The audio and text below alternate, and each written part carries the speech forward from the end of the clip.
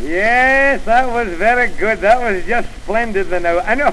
Oh, we're going to sing it again. We're going to sing it again because, you know, music is a moral law. It gives a soul to the universe, wings to the mind, flight to the imagination, a charm to sadness, life to everything. It is the essence of order, and it leads to things that are good and just and beautiful. Just a simple melody, that's all. a simple melody is the greatest attraction in the world.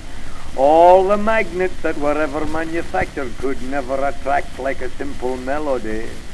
You remember a little melody you used to hear your mother singing? Eh? My mother used to sing one. Sing me the songs my mother used to sing.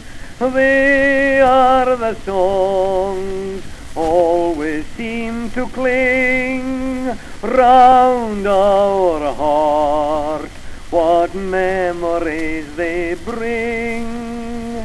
When I hear the simple songs my mother used to sing.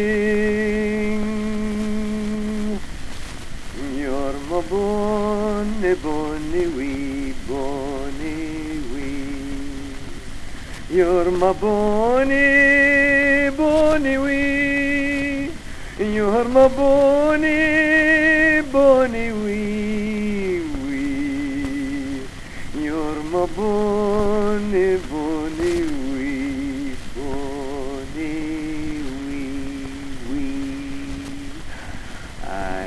sleeping. Aye. Aye.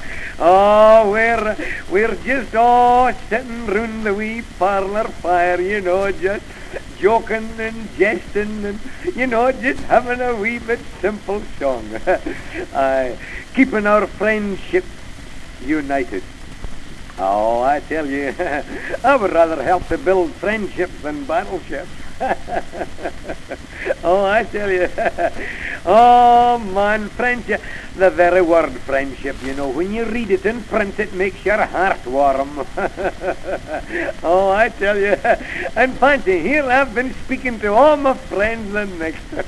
oh, man, it's great.